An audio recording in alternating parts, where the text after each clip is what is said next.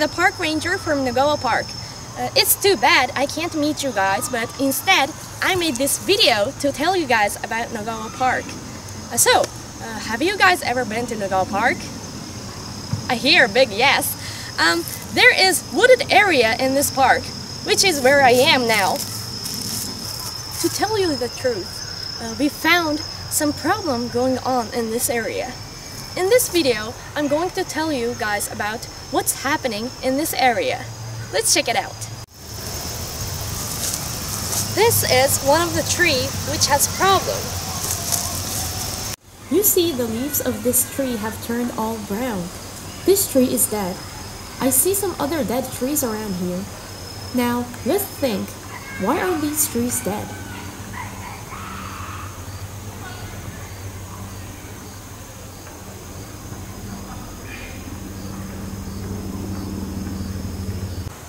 Now, let's observe the tree closely. Look at the trunk. Can you see the white spots on the bark? This is wood dust, and there is tiny hole in the middle. These were made by the insect called oak ambrosia beetle. This beetle caused the trees to die. Oak ambrosia beetle is a small beetle size about 5 millimeters. They live inside oak tree. Female carry fungi on its back. This fungi is a good food for the beetle's larva and also the reason why trees died. Now, let me tell you about life cycle of oak ambrosia beetle. In the summer, they come out of the tree for mating. They look for their new home, old and healthy oak tree. First, male dig a hole on the tree trunk. The wood dust or frass come out when digging holes. And then they release a pheromone to attract female. After the mating, they get in the hole and lay eggs. At this point, fungi on female's back sticks to the wall of the hole. When the eggs hatch, fungi are grown enough for larvae to eat. Larvae pass the winter in the hole eating fungi and become adult. They come out of the hole in next summer. The fungi oak ambrosia beetle carry make oak tree unable to suck up water. In addition, oak ambrosia beetle release pheromone, so if many beetles get attracted, it means large amount of fungi will get into the tree. It is called mass attack, and the tree which got the mass attack dies really quick. The outbreak of oak ambrosia beetles occurred last year, and this year uh, we found about 300 dead oak trees in Nogawa Park. And not only in this park, they are found in other nearby green areas like ICU, Musashino Park, and Sengenyama Park. Actually, they are widespread in Kanto area. So let's imagine, what kind of problems would occur if many oak trees in Nogawa parks got dead? In the park, if the trees close to the paths and trails die, they might drop the branches or maybe the whole tree would fall and it will lead to serious accidents. We are working hard to prevent the accidents like this. We mark the dead tree and counting the number to figure out how to improve the situation. We will be cutting them before summer when beetles come out. We also set traps to research the beetles. It's very important too to set a signboard to tell people what's happening, same as this video. Because the oak ambrosia beetles can cause serious accidents in the park doesn't mean they are bad creatures. There are some good things when the old trees die.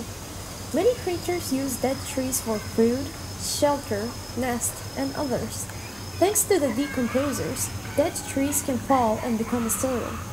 Another thing is, after a tree died and fell, sunlight come in from the space where the tree was, and new sprouts and plants that like bright places can come out and grow. Regeneration of the forest is very natural and necessary. However, oak ambrosia beetles increase too much, and it's affecting the people's lives. and that's why it has become big problem. It is thought that outbreak of oak ambrosia beetles occurred because of the changes in our lives and environment. In the past Japan, people cut the trees quite often to make firewood to burn the fire. The trees were cut before they grow big, and there weren't many old trees that oak ambrosia beetles like. However, we've earned gas and electricity, and people no longer cut the trees to use them. As a result, there are many old and big trees around here. In addition, it is thought that larvae which can survive the winter increased because of the global warming. Oak ambrosia beetles are creatures which plays their part in the ecosystems. We can't just get rid of them. We have to coexist with them.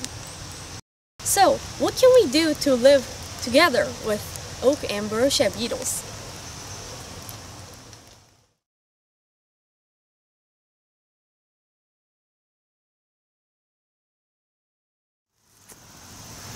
I believe you guys came up with various opinions.